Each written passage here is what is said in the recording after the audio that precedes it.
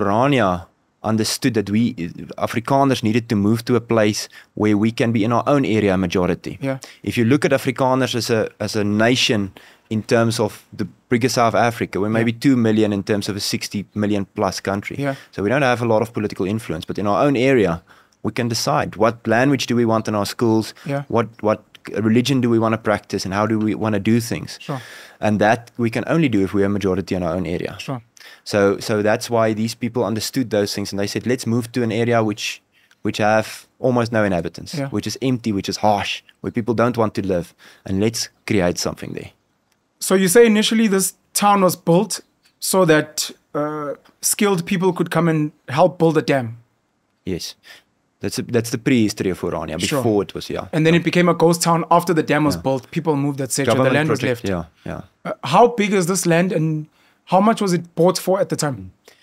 Uh, so the town at that stage, I think, uh, was 800 hectares. 800 hectares. 800 hectares. Okay, a hectare is they normally say one rugby field or so. Yeah. 100 meters by 100 meters. Okay. Yeah. 800 hectares. Yeah, 800 hectares.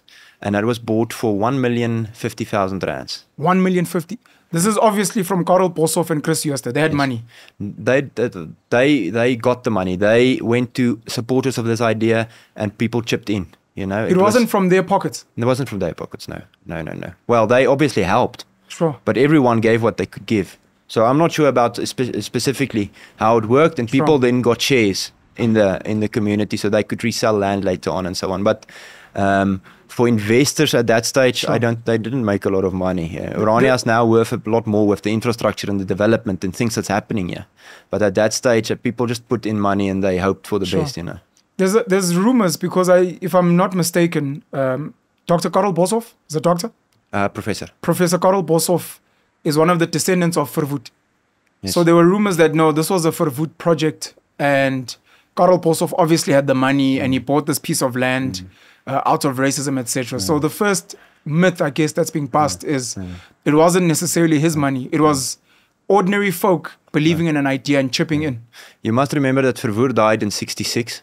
Okay, uh, long, long before the let's call it the second Orania realized long before it. Sure, so it was 66 76 86 91 yeah, and um, um, it's quite easy to see in the way that especially in the pioneer years of Orania yeah, but now later on the way people live they live simple lives there's not a lot of money and riches here Yeah. um, it's not um, if you if you wanted to make good business Orania would not have been the place at that stage sure. it would have been better investments if they had a lot of money. It would have been better investments just in else. terms of commercial value.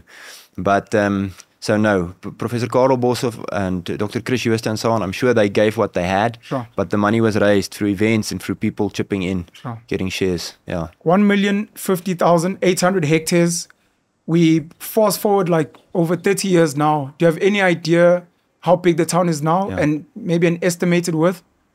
Estimated worth I won't be able to help you with. It's quite complicated with all the infrastructure. But maybe we should get an economist and try and to put a, a you know value on that. But Sure. what I can tell you is that it's just shy of uh, 10,000 hectares, depending on what you count. 10,000. So the town has expanded over time. It's expanded. The, the guys have bought more land. Yes. What happens is people buy more more land and then voluntarily make that part of Orania. Hectic. Okay. Uh, so there's a lot of choices when you move to Orania. How much service delivery do you want, Uh, or do you do you want to pay more um, municipal levies and get more services, or do you want to move into like the more rural parts of Orania, pay very little levies and Sure. do all your services yourself, Sure. get your own solar power. So, so it's a bit of options.